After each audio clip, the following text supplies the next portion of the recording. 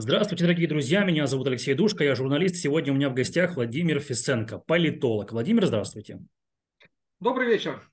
Сегодня будем говорить на такие темы. Козыри для путинского шантажа, критика Путина изменилась, я имею в виду в самой России, и Путин истребил бы украинцев под знаком вопроса.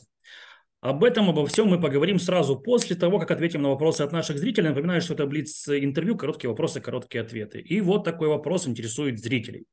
Если бы выборы были честными состоялись бы завтра, Путин бы победил бы на них? К сожалению, да. Э, это связано с многими причинами. Э, выросло путинское поколение, которое при нем стало жить лучше, но не благодаря Путину, а благодаря э, рекордным ценам на нефть и газ. А, ну и, к сожалению, Путин сыграл на имперских струнах души русского народа. Вот он реанимировал то, ту темную силу, имперскую, великодержавную силу, которая таилась э, в глубинах подсознания русского народа. Ну, она не особенно таилась.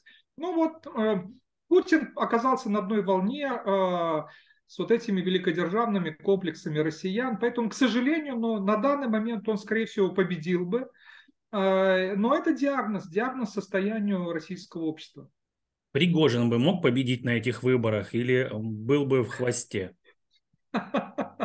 Нет, пока Путин, я думаю, что ему бы никто не дал даже участвовать в выборах.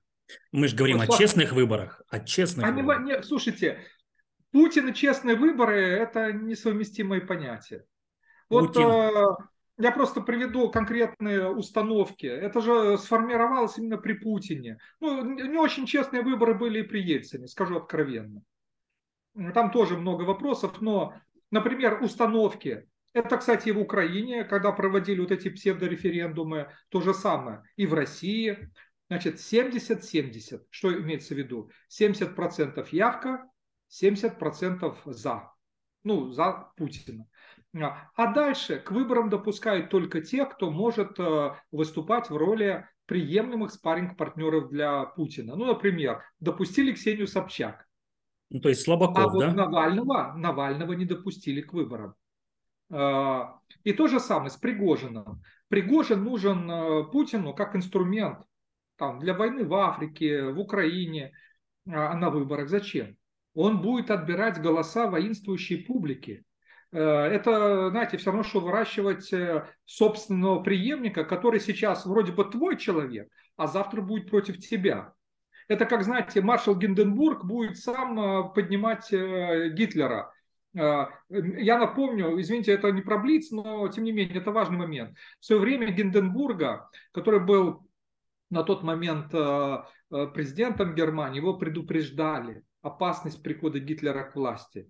Ну, в итоге его уговорили, сказали, что будут Гитлера контролировать, э, а в итоге все закончилось печально. Да, и вот э, сейчас э, Путин и сам выступает в роли российского Гитлера, а Пригожин в этом плане еще опаснее потому что он как бы воплощение вот этой агрессивной силы в гораздо большей степени, чем даже сам Путин. Поэтому нет, я думаю, что Пригожин на выборах, он-то, наверное, хочет, Хотеть-то он хочет, да кто ж ему даст при живом Путине. Но вопрос, а что будет с выборами?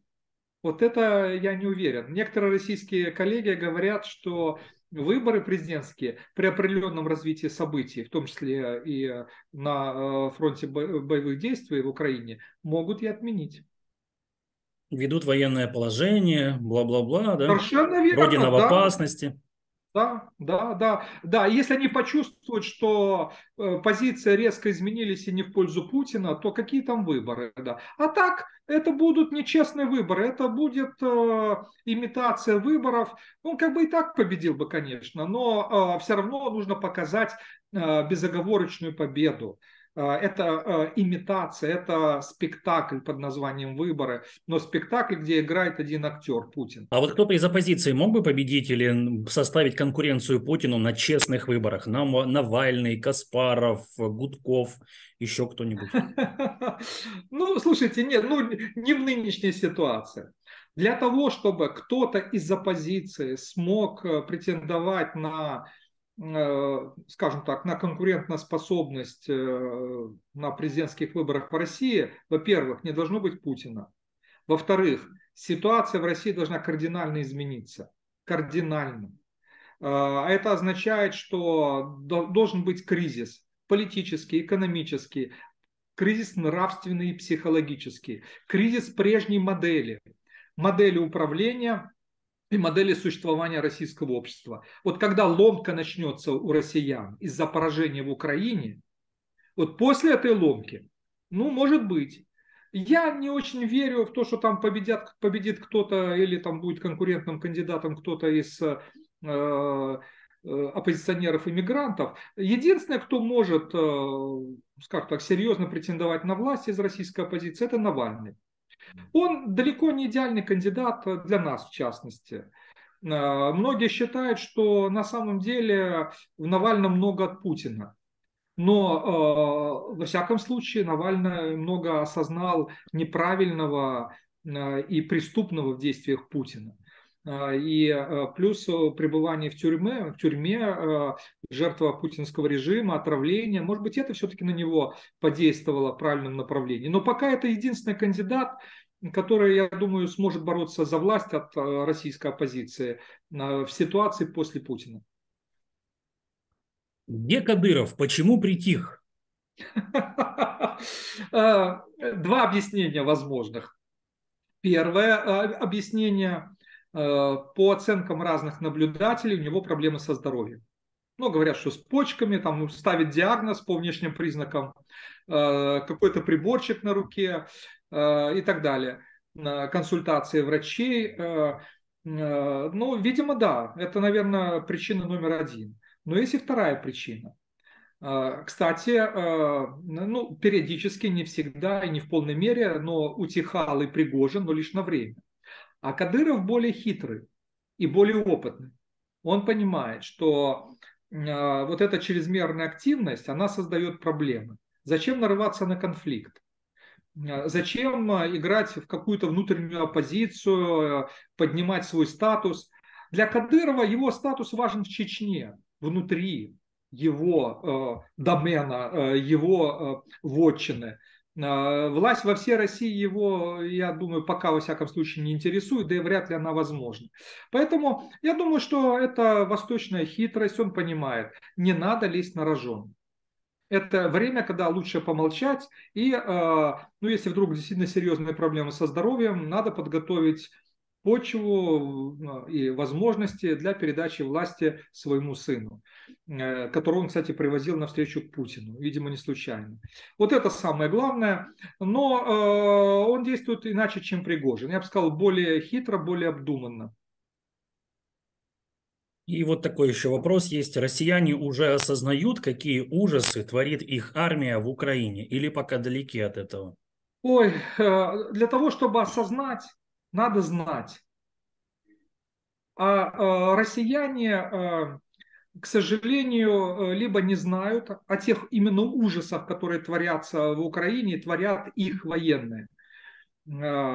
А, те, кто ну, более знаком с военной ситуацией, кто слышал о трагедии Бучи, Ирпеня, ну и вообще о каких-то, ну, скажем так, обвинениях в адрес России, они действуют по Э, ну, традиционному психологическому закону. Мы оправдываем своих и осуждаем чужих. Даже если наши делают что-то плохое, мы этому не верим. А, либо мы считаем, что, скажем так, они вынуждены так были действовать. Но какие-то там ну, страшные преступления, потому что убийство на войне не считается за преступление. Как бы врагов надо убивать. К сожалению, а, многие россияне так думают. Более того, жажда крови, стремление убивать украинцев, это стало массовым. Это тоже диагноз состояния нынешнего российского общества. Но, например, изнасилование. Вот э, я знаю, как реагируют, ну, из, из российских источников, как реагируют простые россияне, когда им говорят о, о разрушениях украинских городов. Они говорят, это сами украинцы делают. Сами украинцы делают, э, чтобы нас обвинять. Да, когда говорят об изнасилованиях, нет, вот в это не верят. Это э, русские так не могут. Хотя они так делали в Отечественную войну в Германии, делают сейчас так в Украине, к сожалению. Но не верят, потому что как бы наши так не могут. Наши хорошие, а вот украинцы плохие. Это принцип самооправдания, это такой психологический механизм. Но я думаю, что придет время, когда россиянам доведется Э, проводить вот эту сложную, болезненную нравственную работу, осознавать вот эти не просто ошибки, а преступления, которые совершала Россия в Украине. Надеюсь, они не все там такие, как вы описали только что картину. Не, ну, естественно, не все, но, э, к сожалению, людей, которые, у которых совесть еще осталась, и которые готовы, готовы психологически видеть и признать преступления России в Украине, таких пока явное меньшинство. А, а для того, чтобы таких людей стало больше, ну, во-первых, нужна информация, во-вторых, нужна целенаправленная работа. А это произойдет только тогда, когда власть в России поменяется, и у власти будут люди, которые поймут, что необходимо провести эту работу. А само собой это, к сожалению, не случится. Давайте поговорим теперь о вопросах, которые вот нас интересовали последнюю неделю. Наверное, один из самых главных – это козыри для путинского шантажа. Вопрос следующий. Задержанный журналист США якобы за шпионаж. Это очередной метод давления Путина на Белый дом? И что пытается Путин таким образом выторговать? Не, ну, в данном случае все достаточно просто. Об этом говорят и в России, и понимают и в Соединенных Штатах. Э, это такая э, целевая, многоцелевая комбинация. Здесь не одна цель, а несколько. Есть цель внутренняя, шпиономания. Надо, э, это такой традиционный метод. Во-первых, так думает сам Путин. Во-вторых, этот способ восприятия действительности, он переносится на российское общество. Как бы в стране враги и шпионы. Почему так плохо? Почему Россия проигрывает войну? Потому что враги и шпионы. Э, внутри России. Э, и этих врагов и шпионов надо ловить. И что происходит? Ну, сейчас в России повторяется 1937 год, ну, пока в мягких формах. Что я имею в виду? Пока, может быть, нет таких вот э, массовых репрессий, как при Сталине, но зато уже есть массовое доносительство. Пол России пишут доносы друг на друга. Вот паранойя уже как бы проявилась в этом. А это следствие вот этой шпиономании и поиска врагов народа. А, и кто а, на роль шпиона лучше всего годится? Американец.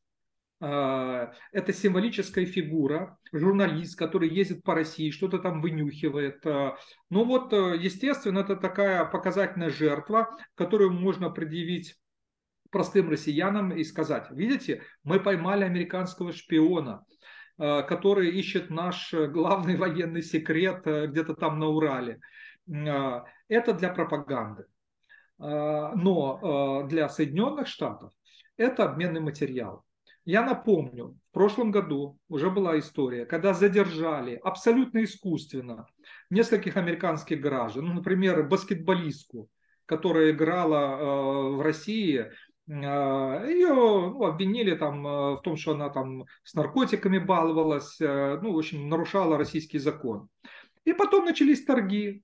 И э, выторговали э, известного, одного из крупнейших торговцев оружия, россиянина Бута, которого ловили довольно долго. Фильм, кстати, про него сняли с Кейджем в главной роли «Оружейный барон». А, как раз вот этот персонаж там был прототипом. И вот россияне его выторговали буквально. Был такой обмен. Это, кстати, еще давняя традиция, еще советских времен. Путин же мыслит вот теми категориями, которые он знал еще в советские времена. Видимо, в школе КГБ всему этому учили. Вот он как бы это все воспроизводит. Советский Союз обменивал там Луи, Луиса Карвалана, лидера Компартии э, Чили, на диссидентов э, российских. Вот и здесь что-то похожее. Э, своего, ну, важного, который может помочь в Африке, связей много, обменяли там вот на американскую баскетболистку. Кстати, американцы предупредили еще в начале года, что лучше уезжать гражданам США из России. Это очень опасно. Но журналисты работают по долгу службы. Вот, к сожалению, они в зоне риска. И этот риск, к сожалению, ну, проявился. Поэтому сейчас, видимо, будут торги, переговоры, на кого будут менять, посмотрим. Но, скорее всего, как вот пишут даже российские эксперты, вот этот американский журналист, это такой разменный материал для торгов э, с Соединенными Штатами. Э, кого-то будут еще тоже выторговывать э, из тех, кто еще остается. Там есть, кстати, люди, связанные с хакерскими атаками на Соединенные Штаты, тоже носители секретов, но в сфере IT-технологий. Вот, скорее всего, будут их, наверное, выторговывать в обмен на вот этого журналиста. Журналист в обмен на нужных людей Путину. Какой Совершенно козырь, верно. Какой козырь для шантажа в политике может еще использовать Путин? Слушайте, шантаж – это вообще способ мышления и способ действий Путина. Любимый инструмент его. Он э, любит шантажировать. Э, и для шантажа выбирает все, что подходит в данный момент. Вот смотрите, э, осенью прошлого года он начал шантажировать европейцев высокими ценами на газ, искусственно поднимая он же провоцировал э, кризис, энергетический кризис, э, топливный кризис э, в Западной Европе, ограничивая продажи российского газа в Германию, ну и в другие европейские страны. Вот вам пример, энергетический шантаж. Кстати, напомню, точно так же он шантажировал в свое время Украину. Две энергетические войны были, газовые так называемые войны против Украины шантаж по поводу ситуации на Запорожской АЭС. Несколько раз в прошлом году. А, сейчас новая тема для шантажа. Ну, тема ядерного шантажа Путиным используется регулярно. А, и а, для этого используется сейчас тема тактического ядерного оружия. В прошлом году эта тема поднималась, но скорее так, вот фоново, как бы упоминалось о возможности использования, о том, что, знаете, как там пелы Э, еще сталинском э, хите песенном «Наш бронепоезд на запасном пути». Вот и у Путина говорили, у нас есть тактическое ядерное оружие, в случае чего мы его используем. Но не конкретизировалось. А тут заявили конкретно. Э, поскольку они боятся усиления поставок оружия в Украину, западного оружия, и это уже происходит, и выкатили шантаж тактическим ядерным оружием. Почему вот э, заявили о размещении именно в Беларуси? Ну, потому что в России оно уже есть. Многие подозревают, что оно есть даже в Калининградской области. А, там Искандеры уже есть, и, ну, кто его знает. А, а, может быть, оно есть даже и на Донбассе, кто его знает. Но пока подтверждения нет. Крыму подозревают, что может быть.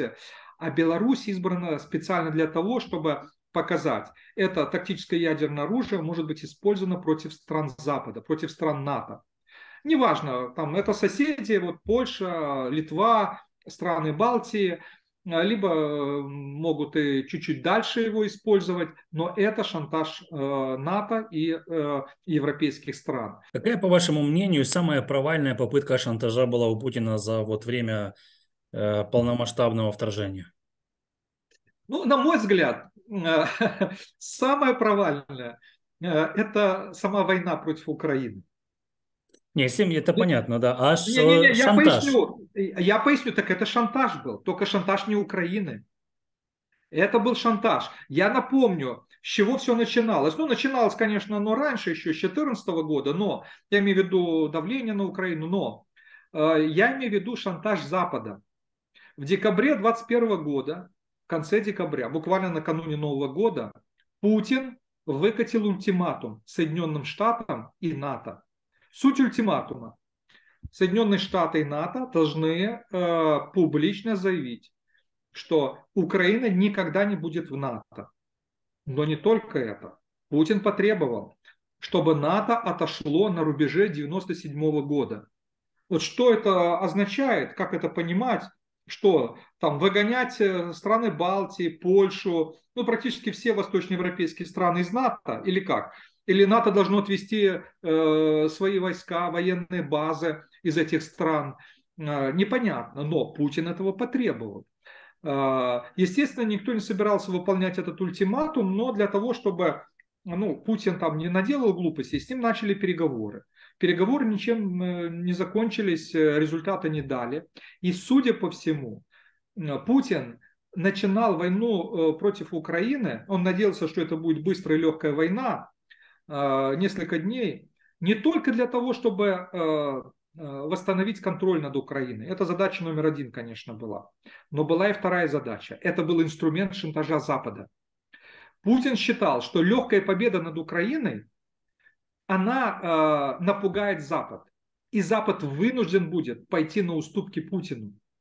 Э, на уступки в глобальном плане, том числе в Европе, э, в плане международной безопасности. Путин фактически хотел путем войны в Украине заставить Запад выполнить свой ультиматум, который он выдвинул по НАТО, ну и выдвинул Соединенным Штатам. Вот в чем была суть э, этого плана. То есть вот речь идет именно о шантаже, только шантажировал он именно Запад. Но проиграв войну в Украине, не, ну, э, ему не удалось захватить Украину, не удалось э, захватить Киев, пришлось уйти из Киевской области, из севера Украины. И ну, шантаж провалился. Поэтому пришлось уже там о другом заботиться. Но это была явно попытка шантажа. Это вот самая провальная попытка шантажа. Поэтому я эту историю рассказал, чтобы показать, что Путин играл по-крупному, очень по-крупному. И эта ставка, то есть он там почти все поставил на зеро и провалился. Но это не Зеро, это серьезные игры. Это ж не просто там госпожа удача.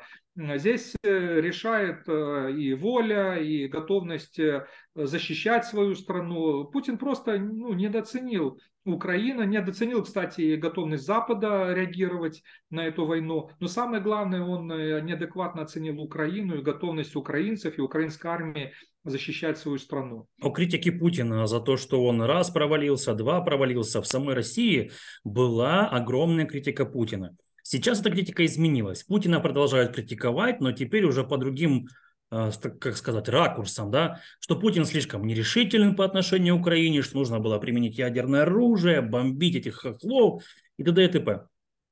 А почему изменилась критика? Это после убийства татарского или есть какая-то другая причина? Ну, смотрите, я не согласен с тем, что э, огромная критика Путина в России критикуют не Путина, критикуют некую абстрактную власть, критикуют военное руководство за совершенные ошибки, за неправильный выбор э, стратегии тактики, за неправильный выбор инструментов, э, требуют действовать более решительно. Э, это так. Путина напрямую критиковать избегают. А, пожалуй, пожалуй, только вот ну, отдельные персонажи, ну, либо это оппозиционеры, которые за рубежом, либо вот э, э, есть в России персонаж, которому дозволено критиковать Путина. Это, кстати, у многих вызывает удивление, но вот э, есть такой персонаж. Это Гиркин Стрелков, герой 2014 года, персонаж, который успел повоевать в Украине, поучаствовать и в крымских событиях, а, судя по всему, он имеет вот эту индульгенцию или право на, критику Путина, а, разрешенное право, потому что другим это не разрешено. И если ты начинаешь критиковать Путина, это плохо может закончиться. Но э, я согласен с тем, что недовольство растет. В том числе оно растет э, вот в этом э, воинствующем лагере, в лагере сторонников войны, лагере имперских патриотов, шовинистов, э, да, они э, видят, Россия не выигрывает эту войну, а многие понимают, что проигрывает. И что делать? Вот они же тут вспоминают, ага, давайте ядерное оружие используем. Но слушайте, это легко сказать.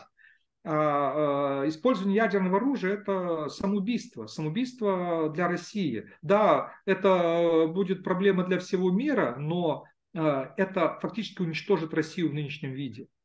И э, те, кто еще не потерял э, остатки рациональности, они это прекрасно понимают. Я думаю, что абсолютное большинство людей в Кремле, которые, э, ну, скажем так, поддерживали эту войну, которые лояльны Путину, но которые не хотят умирать, не хотят сгореть в этом ядерном пожаре.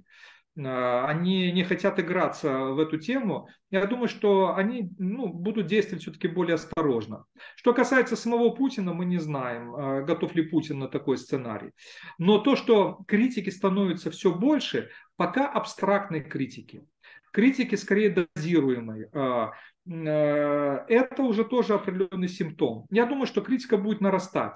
И вот я думаю, что перелом случится тогда, когда действительно массово начнут критиковать персонально Путина, обвинять Путина э, в поражениях, э, во внутренних проблемах, в ошибках. В закрытом режиме это уже делают. Ну, известный всем разговор, который вызвал такой ажиотаж э, Фархада Ахмедова, бывшего сенатора российского, миллиардера и известного шоу-продюсера музыкального Иосифа Пригожина. Ну, удержатся они или нет? Вопрос в этом. Не знаю. они просрали, страну они просрали. Все они просрали. Да, все, да. Что они просрали? Подождите, а, Владимир, вот... там же это все нейросеть, это все неправда, это все Ну как? Ну как сфабриковано? Uh, уже uh, кто-то, ну даже Иосиф Пригожин даже признал, ну он не признал, что он так плохо говорил о Путине, конечно, нет, это все сфабриковано, но как э, оценили это комментаторы? Вот я читал э, российские телеграм-каналы про кремлевские, они сразу же зафиксировали. Так думают очень многие. Российские олигархи, миллиардеры, представители российских элит. Они не говорят, что все, нет, но многие. А, опять-таки враги, предатели, мол, народ воюет, да, а вот эти жирные коты сидят, да еще так плохо думают про нашего президента. Но на самом деле это действительно был диагноз. Это, э, э, ну, как вот в советские времена, там люди на кухнях разговаривали и критиковали э, власти. Так сейчас, пока только представители элит, они более информированы, они больше потеряли. Простой россиянин, ну что там, у него особо ничего не было. Путин там ему немножко зарплату и пенсии поднял. А, как бы, вот они за это ему благодарны. Они видят в нем сильного руководителя, но э, из-за этой войны они ничего особо не потеряли.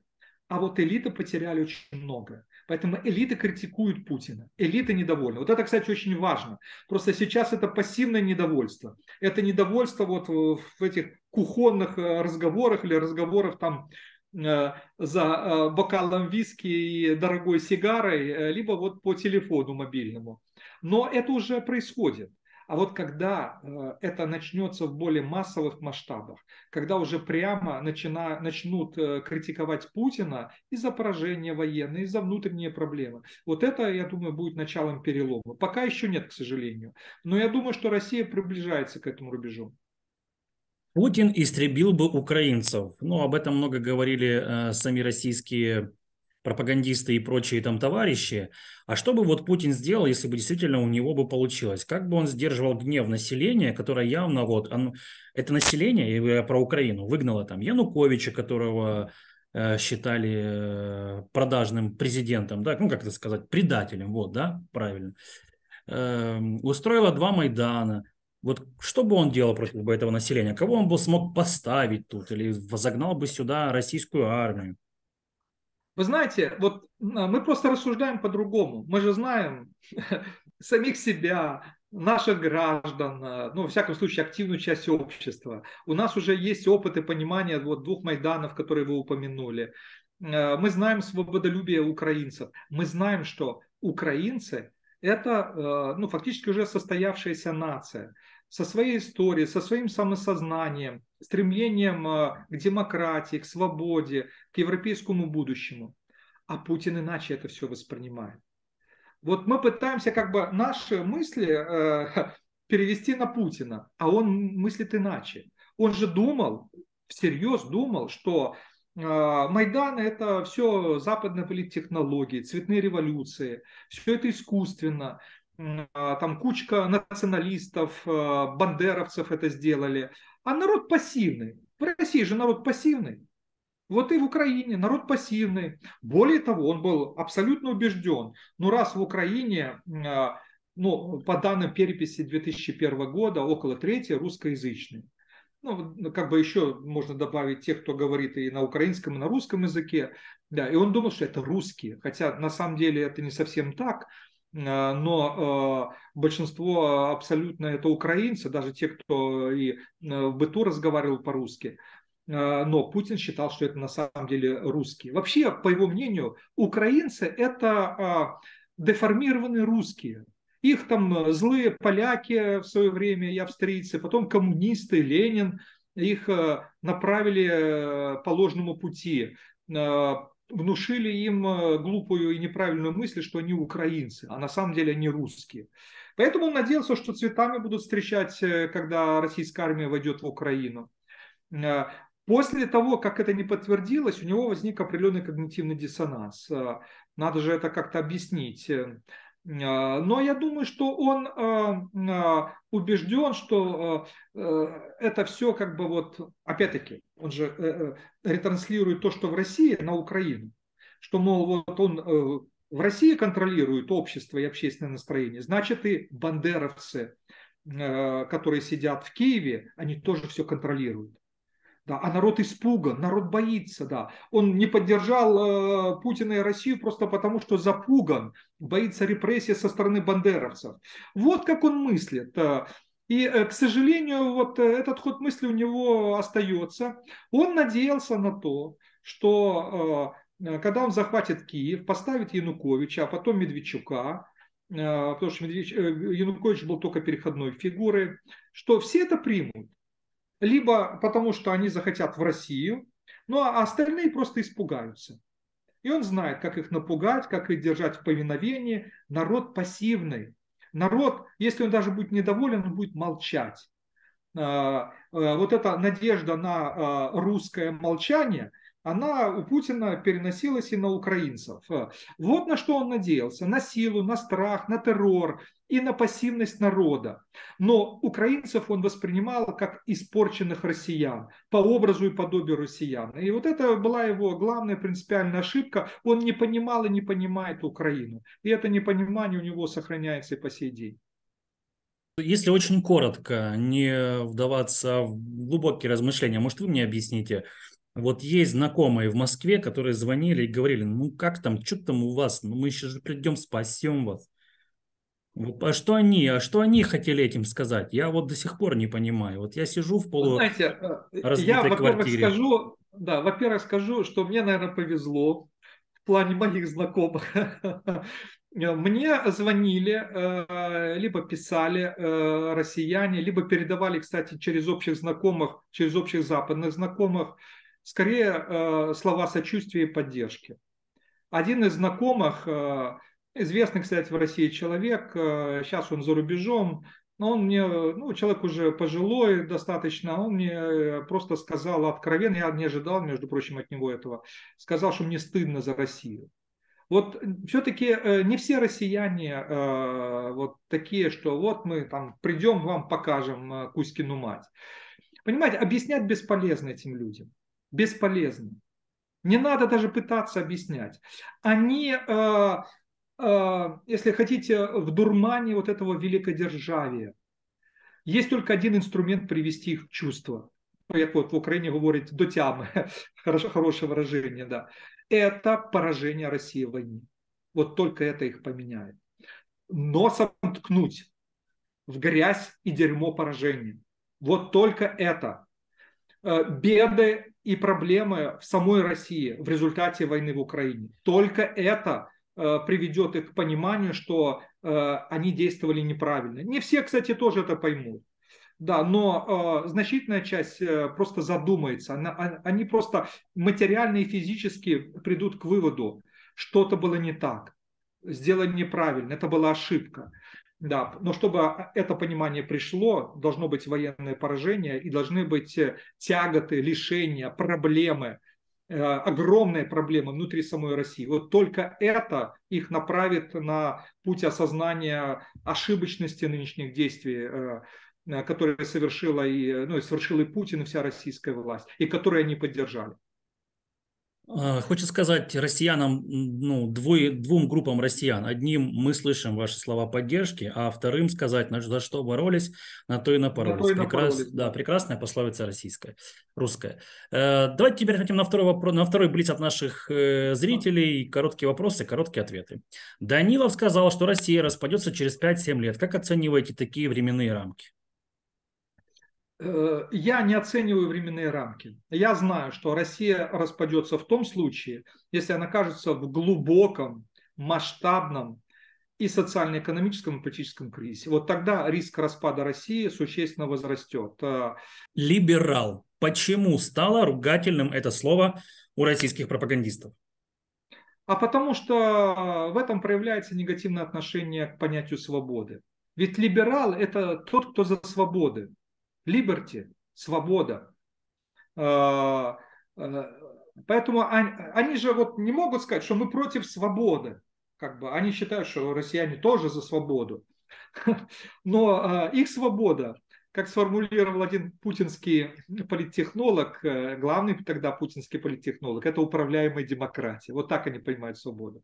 Поэтому они не против либералов, они против свободы как таковой. Свободы политической, духовной, свободы нравственной. э, э, Поэтому их раздражает любое отклонение от нормы, стандарта. Э, Знаете, все, кто не шагает левый там, э, в унисон с Путиным, вот для них это уже враги, это неправильные люди. Все, кто думает не так, как думают вот эти кондовые россияне пропутинские, значит, они тоже неправильные, э, враги народа. Поэтому они против свободы как таковой. Вот в этом главная проблема. Если бы не было войны в Украине, Финляндия вступила бы в НАТО? Думаю, что нет. Э, Вступление Финляндии в НАТО – прямое следствие э, войны России против Украины. Э, Вот опять-таки, вот вы процитировали, за что боролись, на то и напоролись. Путин хотел не допустить расширения НАТО, наоборот, чтобы НАТО отошло еще дальше, вернулось на старые границы, а получил прямо противоположный результат. И, кстати, это во многом и другом проявляется. Получается, Путин шпион НАТО и предатель России.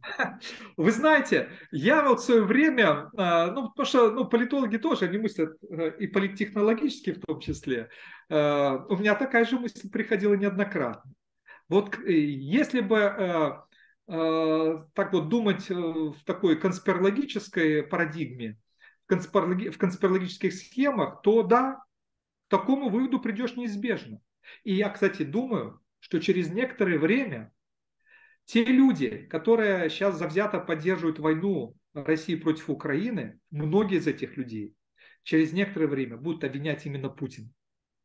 Путина в том, что он действовал в интересах Запада. Кстати, обратите внимание, сам Путин, он же уже как сейчас объясняет войну.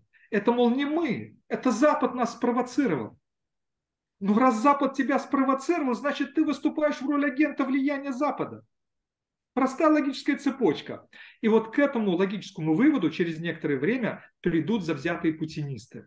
Сейчас они за него, а потом увидят в нем корень зла. Не все, но та часть, которая ну, сохранит еще способность э, к логическому мышлению и которая будет подвержена разным конспирологическим теориям.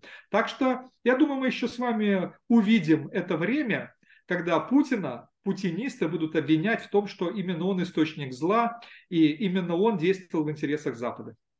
Владимир, большое спасибо за сегодняшнее интервью. Все очень четко, по полочкам, интересная аналитика. Ждем победы Украины.